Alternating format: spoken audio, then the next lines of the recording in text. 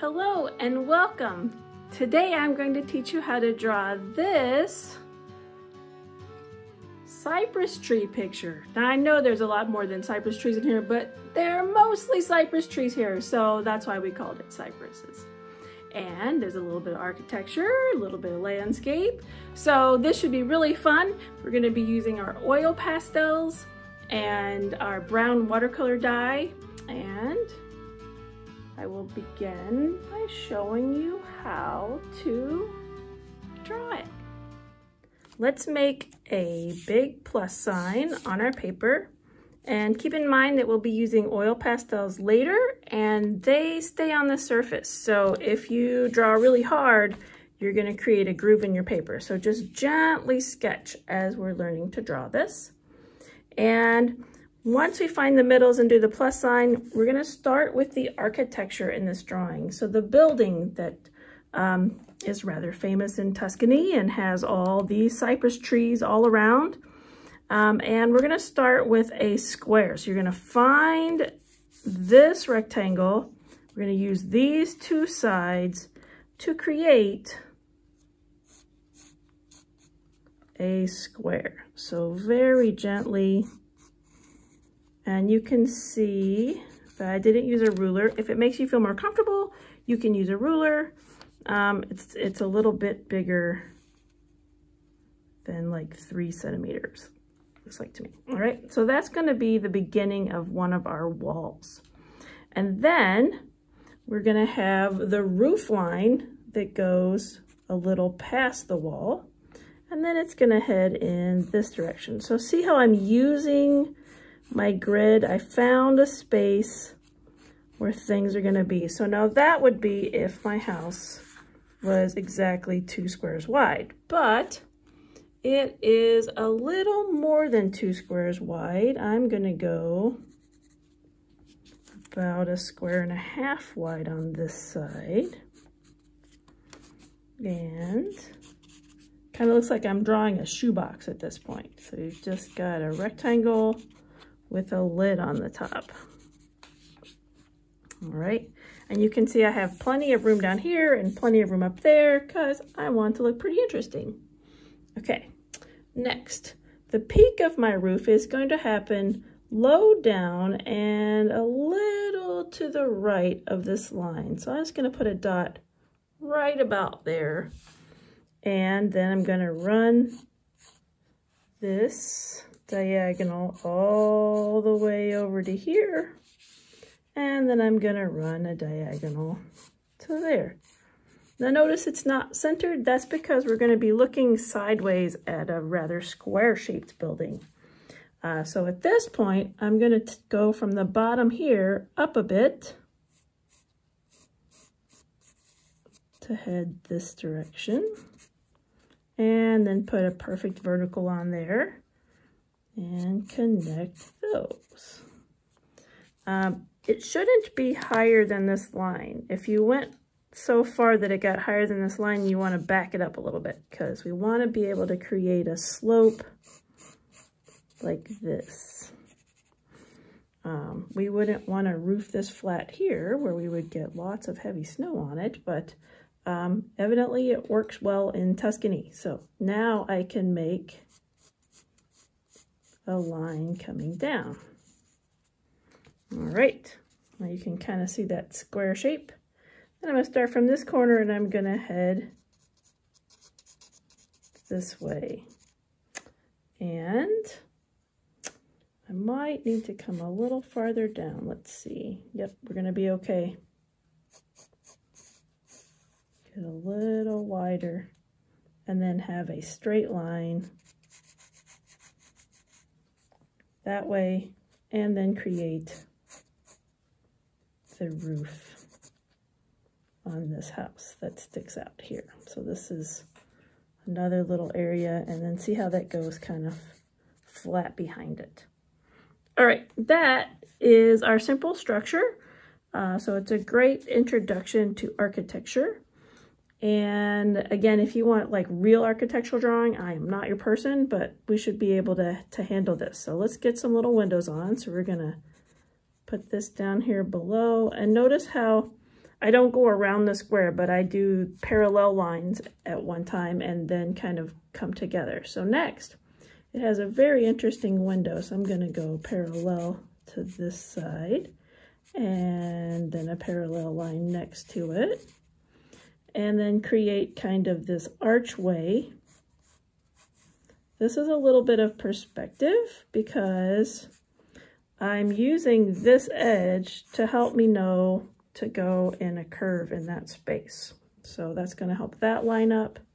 There's another set of skinny things, windows and doors over here. So I'm going to line this up. And then there's just some little things that get kind of lined up here. And I can't put a square because I'm on the side. It has to be a parallelogram or a rhombus in order to make sense in this space. Uh, because if I put a square, then that's impossible looking at it from the side. So we've got these interesting little windows. Not what you would think of as a window normally. Kind of looks like it would be great for a puppet show. We could put lots of little critters coming in and out of all these different little windows. All right, so that's pretty well positioned for where those windows will go. And now I'm going to run some lines over here for where the windows on the front will go. Now these can be squares. Okay, so I'm just lining them up. I'm closing them off and then the one on the bottom is a little smaller than the one on the top. So even though I ran those lines all the way down, it still helped me kind of get a good position on that. When you see me with my precision eraser, uh, don't panic. It's not going to get too tight and too detailed. I just think this will be easier for you to see these windows here. So I'm going to clean out, first of all, my helping line in all of this. Remember how that one came all the way that way.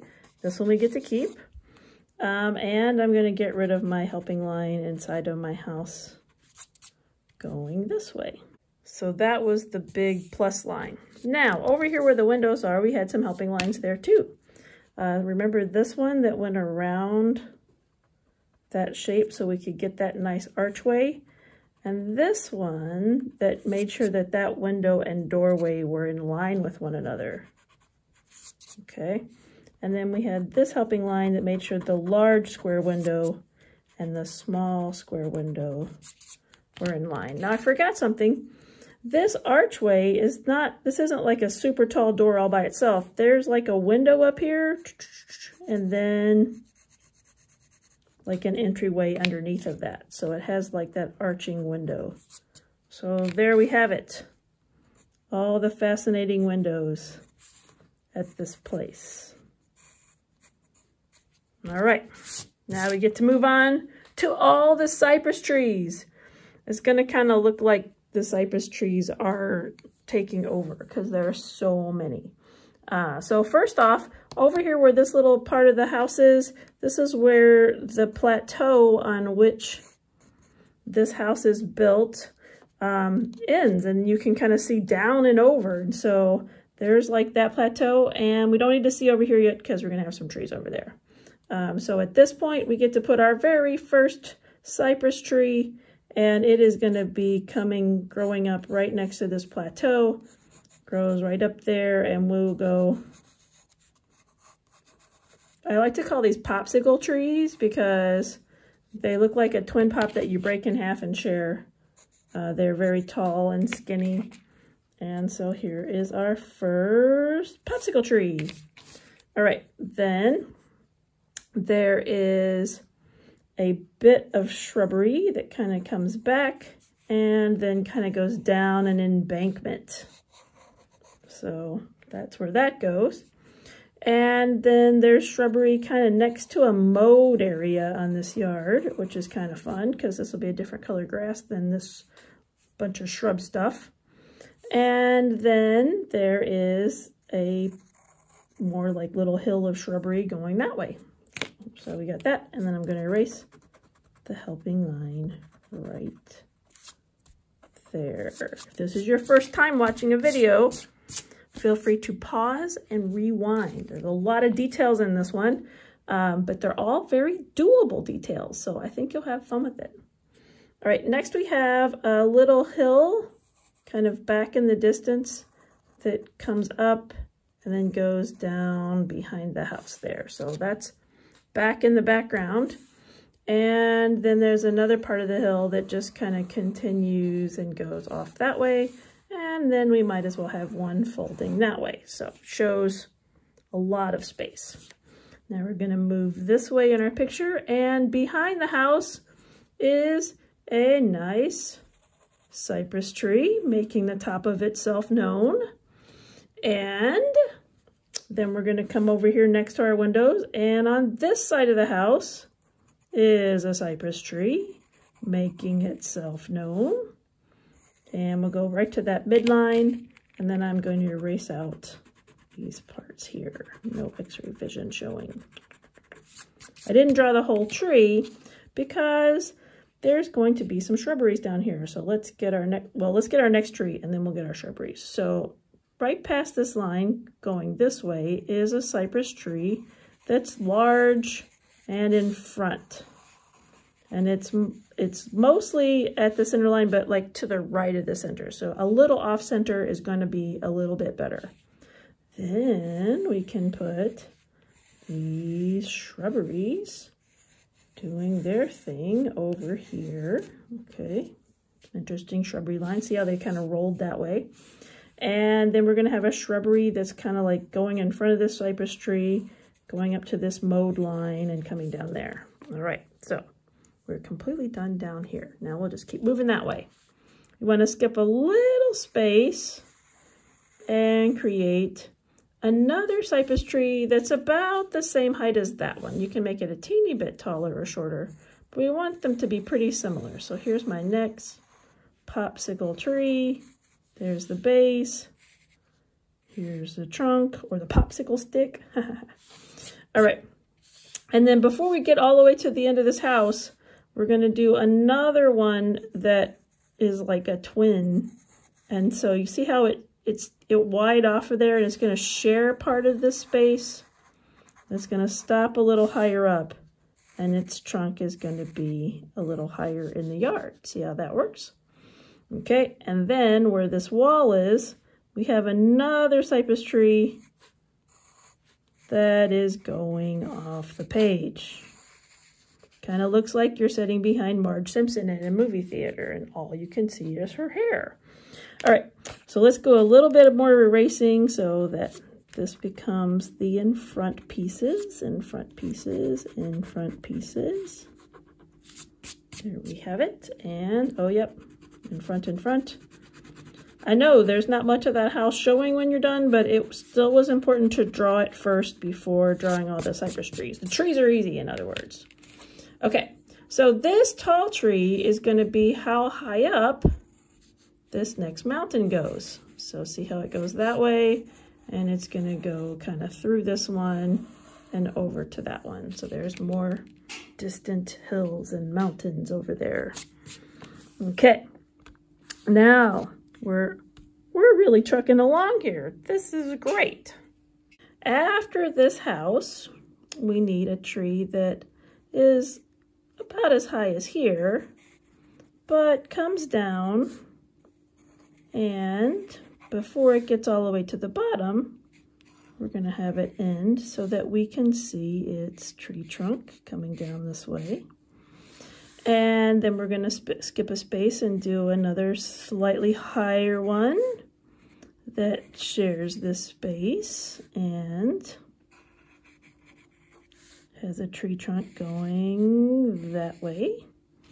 And behind these trees, actually, let's go a little bit more that way. Behind these trees, we're going to have one that's behind this house that's not as tall as this one and taller than that one. Okay, and then we're going to have a hill. Mm, okay, how do we get this hill on here? Okay, well, we will have the hill only come this way. There we go. And I think I want to put a tree going off the page here. There.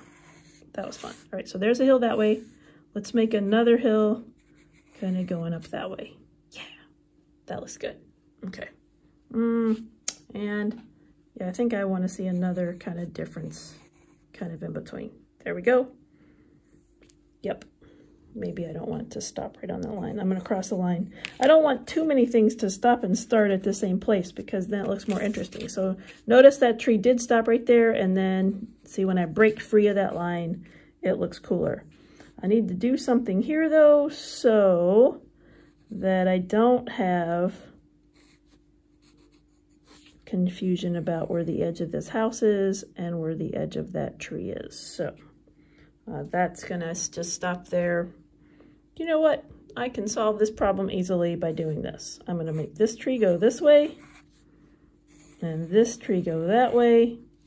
And then you don't have to see what's happening after that house. It can all be tree parts, okay? So see what we did here. Tree part, tree part, tree part, and now I don't have to try to explain what's going on there. Oh, I have to make sure I go higher than this line in order for that to really work out. Okay, see why I had to go higher. Okay, so almost good idea, Miss Alayne, but we're not quite there yet. Gotta keep going. Can't be lower than this line right here for all the blocking. It's like I have a football team of cypresses and they're playing defense and they're gonna block the view. Okay, now we got it. Perfect. All right, so now we're just gonna erase all of our helping lines and get our black Sharpie marker out. All right, my helping lines are erased. I have a fine point Sharpie marker. But before I trace, I'm just gonna check out my architectural skills. If you take a perfect rectangle or a ruler and you line it up where it touches one, two points at the bottom, and if this is a straight line, then you should be able to check to see if your verticals are truly vertical. So like that one's vertical, that one's vertical, that one's vertical, that one's pretty close. It looks like I started to veer out a little bit at that point. Vertical, vertical. Okay, that one's pretty close. Just gonna make sure. Um, something called a T-square is what architecture people, architects use. Um, and so as long as your verticals are straight, up and down, it will look more realistic. So that's just a trick. And it you have to be careful that you're not like following this line and these points aren't being met because they have to all three be met in order for it to truly be vertical. So that's how that works. It doesn't, all the other lines, there's not a neat trick like that. These guys, there's nothing to line up with. These ones, it's only the vertical lines that will fit into that category of like line it up and you can check your work that way, okay? So for the house, and I'd say even for your tree trunks, yep, yep. Well, it's okay if he gets a little wider. He is a tree trunk. You know, that will be helpful for you. All right, let's start. You can start anywhere you want. I'm going to go for very good bold lines and I'm going to wiggle just a little bit so it looks more interesting. And I'm going to erase wherever I get out of the lines. So that's how I'll trace the land. Oh, but, but this marker is mushy and that's architecture. Oh my, what will I do? Well, let's see. I will just go gently. There we go. Whew. And you're probably like, Miss Alayne, why are you torturing yourself with that terrible marker? Well, I know that I have to color with Cray-Pas and that they are big and thick. So uh, they don't like to go into tiny petite spaces either. So if I can do it with this marker, then I'm going to be fine when I get to my Craypa. And close enough counts, right? Also, these little windows, we're going to color them in because it's going to be daytime And there may be light reflecting off of these guys, but we're not going to try to color those in with Sharpie. So we will, I mean, in with Crayon. So we will fill them in with Sharpie instead.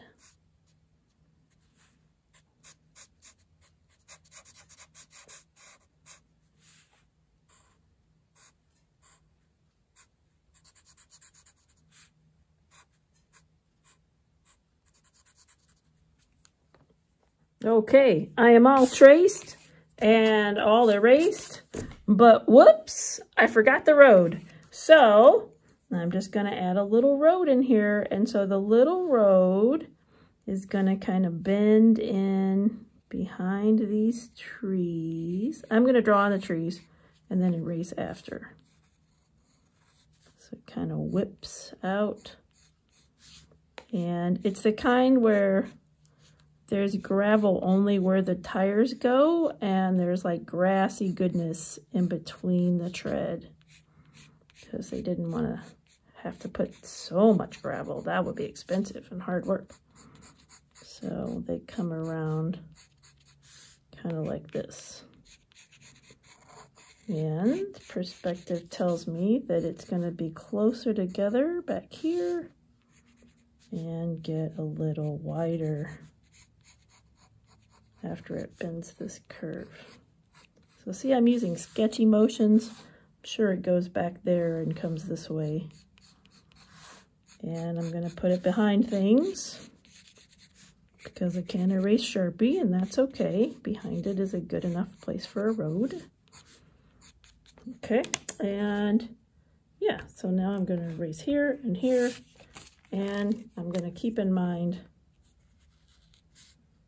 one, two, three, four. There, we have our little road. Also, you notice when I traced that I didn't necessarily connect things together. So those hills are in the back, they're kind of hazy. I got to draw the whole tree, but leaving little gaps like that looks kind of interesting, right? So remember, interesting is good. So it's okay to leave little gaps, little gaps. Now I'll clean this road up and we will get started with our colors. Hip hip hooray, colors. And I know we all have our 25 color set. Mine's a little worse for rare, yours is new. Um, and so we get to use a lot of colors on this one. So in some of our projects, I've limited the palette this one we get to kind of go at it. So it's going to be super fun with lots of delightful colors. And I'm going to use my piece of paper that I use to measure my verticals to make a mark every time I use a color. And it may be that I will go back and use a color again. A lot of times in the past, once we use a color, we're done with it. But this time we might come back to it. So um, we, we will see, right? Okay, so first I'm gonna start with like the lemony yellow. And everywhere I think I see some light shining on this little location, I'm just gonna put a little yellow. And so instead of solidly coloring things, you can see I've got a bit of dancing light here and it's not solid. So this is very different where I, instead of me like coloring whole areas, I'm gonna be like saying, oh no, let's just put some of this here and some of this here and some of this there. So we'll do a little bit of that in that location. Yeah, and then we'll do a little bit like up there. Oh, on the backyard here where it's coming around this little slope before it gets to our road. We're gonna put some yellow there. Yeah, okay. All right, that's enough regular yellow for now. And then I'm going to play with a little bit of purple. Okay. So this may feel weird. It's like, why purple? But, well, purple and yellow is good together. So I'm not coloring with all my might. You can see I'm using kind of a gentle approach to getting this purple on this these roofs. And I'm even going to put some there and there and even there. So all the roof and the gutters. Get some nice purple on there. Then we also have this side of the wall because that's the sunny side. So this is the shadow side. So I'm going to put it on the shadow side. And you can see lots of spaces. The paper is bumpy. I want to be able to see those spaces through there and not have it solid. That way there's more room for me to put other stuff on there. And hey, our little gravel road. Gonna have a little purple on there too. It's in the shadow zone. And see how I went on the two places where the tires would go, not in the middle. Okay. All right, eh, that seems good for purple for now. Eh, I might put a little purple here because it just looks like fun. Some haze. Maybe a little haze back in here. There we go. Just a little bit. All right. Next, I'm going to find, by the way, it didn't matter which purple you use. The light purple and the dark purple are so much alike. I can't even tell them apart. So as long as you use purple, it's fine. We're going to use, oh, I forgot to make my marks. Okay, here we go. Lemon yellow, a purple of some sort, and it looks like I was using the regular purple. And now yellow ochre. Yes. Not to be confused with ogres like Shrek. He's green. This is yellow ochre. Okay. Um, next, I'm going to put a lot of yellow ochre in some places. So here on the yard, I'm going to put a little yellow ochre. I'm to put some on this wall where this lemon is. Wall with lemon, wall with lemon. Just a little bit there. All right, now this purple wall back here, this is where I'm to put a lot of yellow ochre. So I'm to press pretty hard so that it creates that dark purple yellow shadow color because it still has the tone that the house is. And this helps it to still look like it's a shadowy side of that yellow color. And of course, if there's any white parts, then it can go there too, where the purple didn't go all the way. So there we have our yellow ochre wall. Now for the brown one, the brown one that's called brown but looks like burnt sienna. It's kind of a reddish brown. So we're to put that hanging out with the purple up here on the roof. There we go. That looks mighty nice. And you can be a little firm. We might put another color, we might not. We'll see. And it'll go on both sides at this point. And it's probably not done up there, but you can see we're well on our way because it kind of looks like one of those cottages that you see in Tuscany. There's a lot of red terracotta looking roofs with that Tuscan golden walls. All right, here we have that. Okay, yay. All right, well, we should probably get into a little bit of these tall cypresses because that's what this picture is about after all.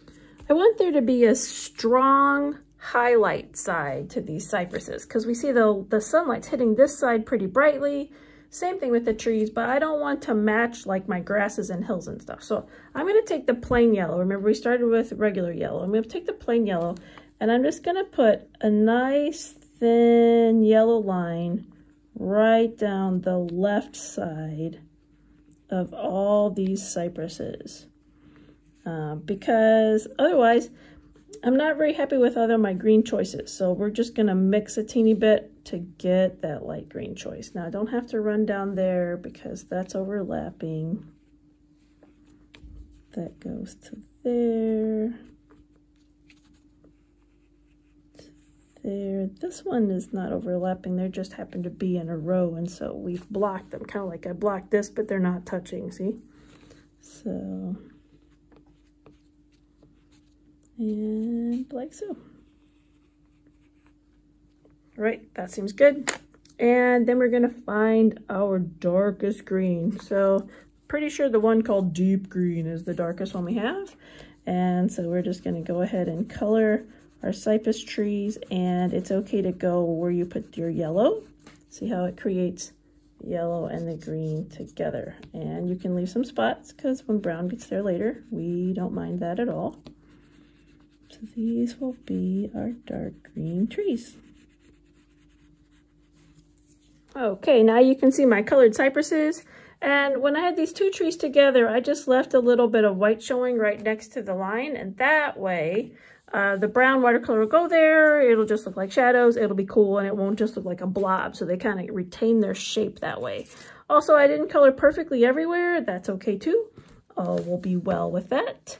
And I'm not going to use that color anymore. That's just going to be safe for the cypress trees, and I'm going to use a lot of the other colors in other places. So now we're going to find the regular green one. So the one just called green. And we're going to lay in some shadowy areas and some shrubbery. So this one over here, I'm going to get some green in there. I'm going to do the bottom section as it comes down and hides in this little grouping, a little like that. Uh, then I'm going to snuggle kind of close to here and get some shadowiness going this way. And then just kind of create a shadow with these all as they overlay each other. So you get that dark to light kind of feel like, like that. Also, this yard over here is pretty much in shadow because of all these trees. so I'm just going to go ahead and put this color in between these trees for the darker yard over here. And this is when we get to go in between the road and right up to that yellow there. We probably should get those tree trunks so we don't color on those. We'll just do those right now. We will use the olive brown color for those. That way they're not too dark and they're a different tone than the other browns we have. All right, got them all? Got them all. Okay, olive brown. I'm to put a little bit kind of on this hill too. So even though these are next to each other, I'm going to do something different, so that's why I can put them there. All right, and we're just going to put a little striations of green back on these foggy hills, misty, misty mountains, foggy hills. I don't know what we have, but we're going to put some green back there. It's not going to look like Van Gogh forever. Just because there's stripes now doesn't mean that's how it'll end. So don't worry. Okay, the light green, it looks like it glows in the dark and it makes me very happy. All right, so I'm gonna put a little bit of this light green on the yellow and all on this hill like this and on this yard and even on that yellow ochre. So it's kind of a little muddy mess right there. Okay, two colors next to each other that are the same again, but it's all gonna work out. Color all on those. Lots of spaces. Don't worry, all will be well. Yep, and let's put a bunch of this color on this hill right here. Okay. Sunlight, I think, is probably hitting this way. So we'll have like there be this imaginary line for shadows and sun.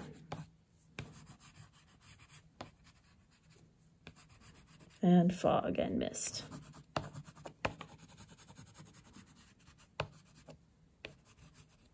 Okay. There, that looks bright and nice. Okay. All right, now I'm going to move on to regular blue. It's called Cobalt Blue.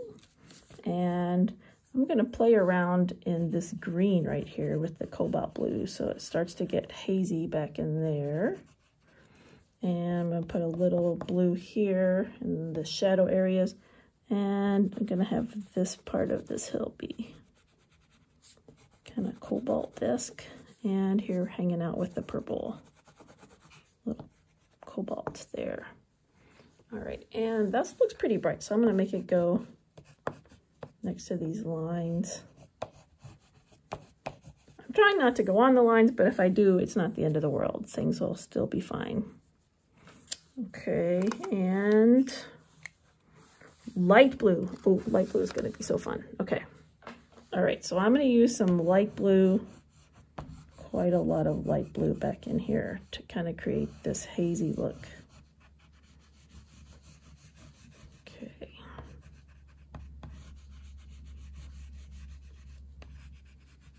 I didn't mean to get on my house. I'm going to kind of scratch it off a little bit. There we go. Good enough. Put some light blue on this green, and when it mixes up, it'll make a new green. And I'm going to put light blue on this side of the roof so that this is the shadow side, right? Because that's the brighter side. This is the shadow side. I know that doesn't look too bright yet, but it will because I'm not done with it. Shadow side, shadow up this. To mix it with this. Light blue, make, blue makes that lovely. And even light blue coming down in between here, going back behind here.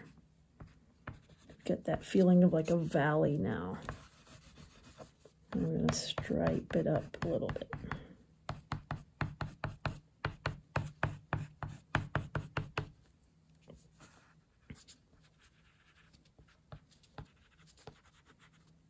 Okay, got that yellow part with light blue. Mm, let's do a little light blue here too.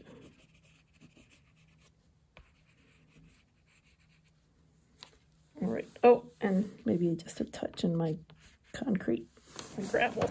All right. Um, yeah, you know what? I'm even going to put a little light blue on this because we already had two colors. It's nice and bold, so it just has that kind of misty look. All right, that was light blue.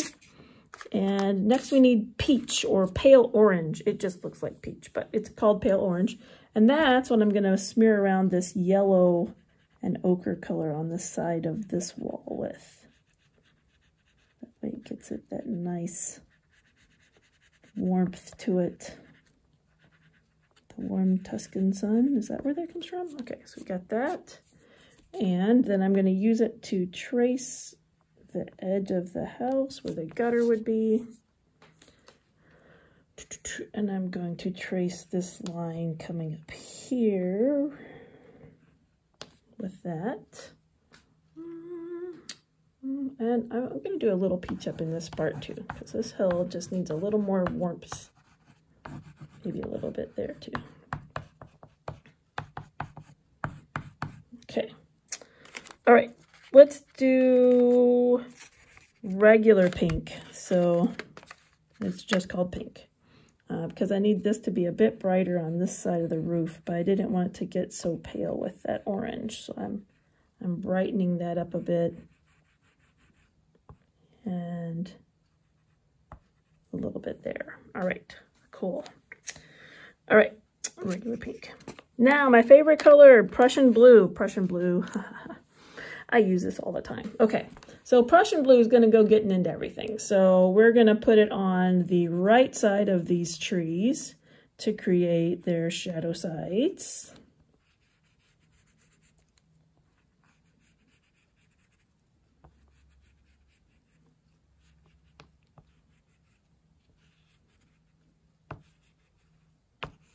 Okay? And then we're going to use it in certain shadowy places here on the picture too. So that shrubbery is pretty far back there and dark. We'll put some on the top of this little hill. Uh, we will darken this lower level of this one.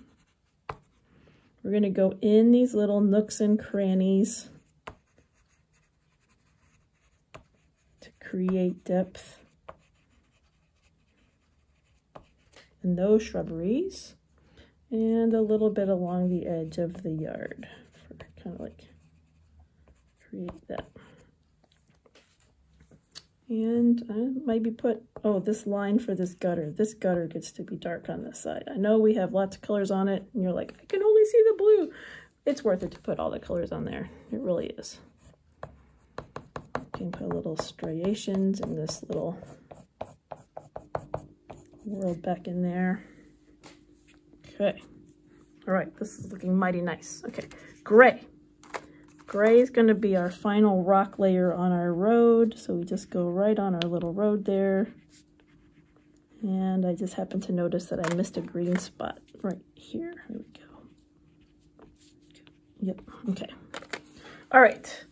Um, colorless blender. Do you still have your colorless blender? We had a bunch of those and uh, for a past lesson, I'm pretty sure we have enough individuals that people got those.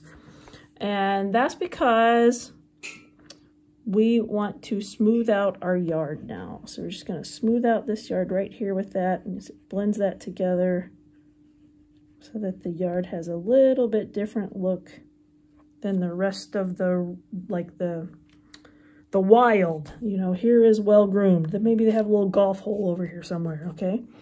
Um, and then we're just going to well groom the top of the yard right there so it's nice and smooth.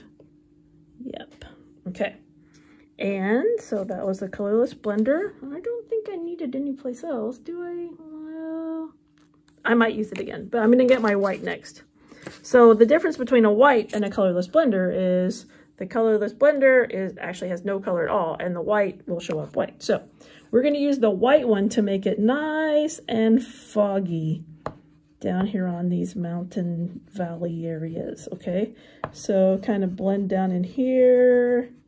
It lightens those blues and greens and has that, it feels like it's going, the fog is going down and hasn't come rising up from there yet. It's a, probably a different temperature down there. And so we have the fog from the temperature change. And then we're going to have it continue past these trees and past this little mountain a little bit this way. Yep, so that's foggy, foggy, foggy, foggy, foggy, and not froggy, foggy. Um, and we can do a little fog coming through this valley too, right here. There we go. Okay, I like that. Yep, and I will do a little fog on this top hill that's blue too. All right, that looks great. I am going to use my colorless blender because I want this stuff to pretty much stay these bright colors that we have, but I want them to mush together. So the colorless blender will mush them together without making them a different color. So they won't get white and lighter. So I'm going to do that part there, a little bit up there, any place on the sides. All right, so all that's been mushed. All right, now I'm going to do a little mushing into this yellow and dark green here. Mush, mush, mush, mush, mush, mush.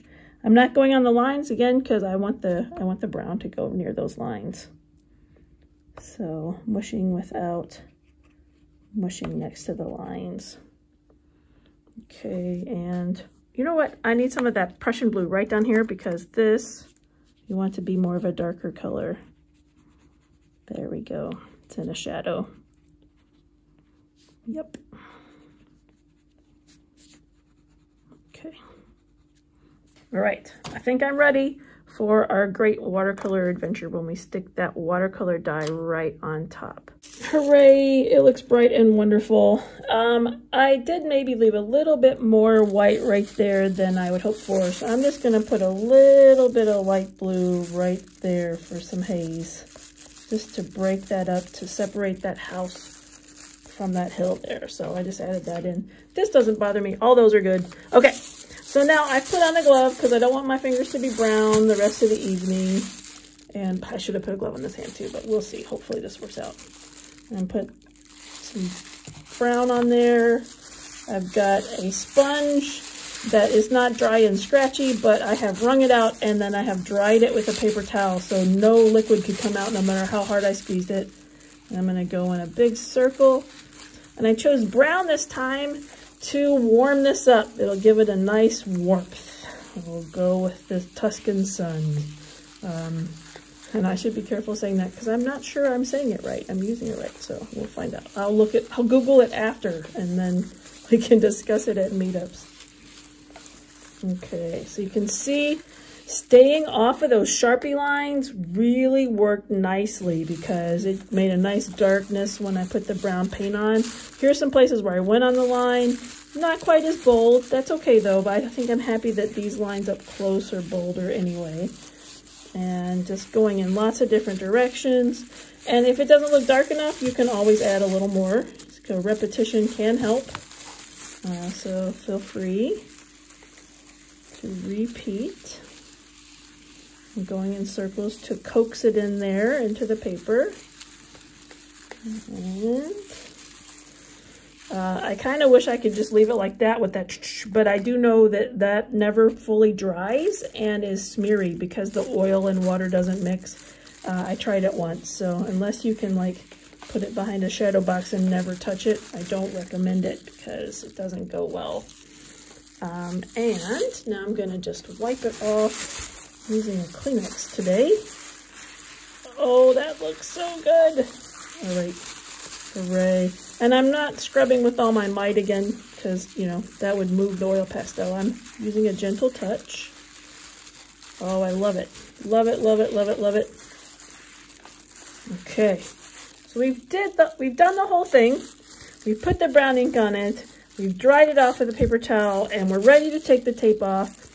But let's say that you look at this and you're like, I got too much peach on my windows. I am not pleased about that. Well, do not put black on it before you rub stuff around. You have to be like satisfied that you got your brown on and you like where it went. And then at the end, so like, see, that was a big clunk. I should put a little brown right there. So I'm not quite ready. At the end, when you're sure that you've got the amount of brown that you want on here, then you can doctor it up slightly and you can use a black Crayola. For some reason, if you put a black Crayola on before you rub it around, black Crayola bits get all over your picture and kind of not where you want it. But now I can use my black Crayola to get those little windows and doors back a little bit. And, and you don't have to do this, but if you're feeling particularly fastidious today, uh, then that's one of the things you can do. Do not trace the whole thing though, just like if you need to get a little windows in there.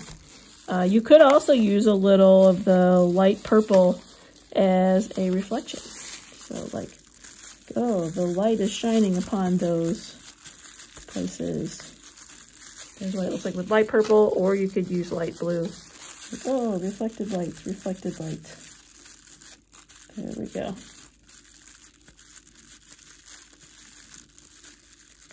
All right. So, and if you're like, oh, that was a mistake, then you can cover it back up with black again. All right, all finished. And there we have it, our finished picture. So You can see how all those colors play together. Did a lot of color mixing. We added it gradually and built it up. And then we put the brown on top of it. So that was very fun to do with you. Thanks for joining me, and I will see you at one of our meetups.